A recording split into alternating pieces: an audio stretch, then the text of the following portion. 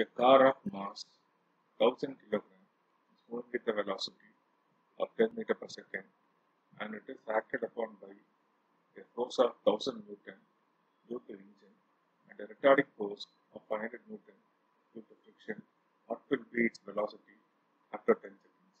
Take a car that is moving with a velocity of 10 meter per second acted upon by a forward force. The forward force because of the engine that is equal to 1000 newton and the friction force that is acting in the opposite direction that is 500 newton. What will be its velocity after 10 seconds? From this moment, after 10 seconds, what happened to its the final velocity? That we have to calculate.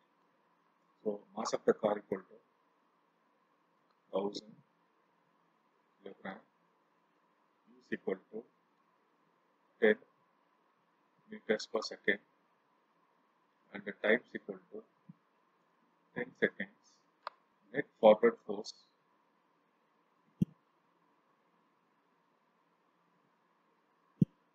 that is equal to forward force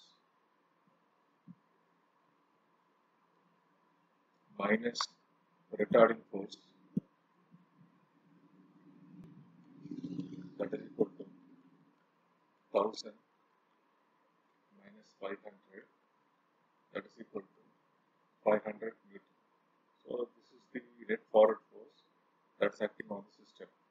So we know from Newton's second law, acceleration is equal to force by mass. So here the force is equal to 500 and the mass is equal to 1000 and this is half meter per second square.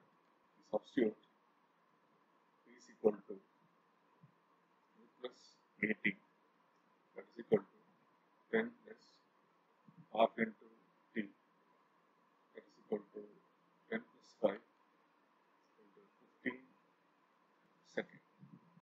Subscribe to my channel and also press the bell icon for important updates.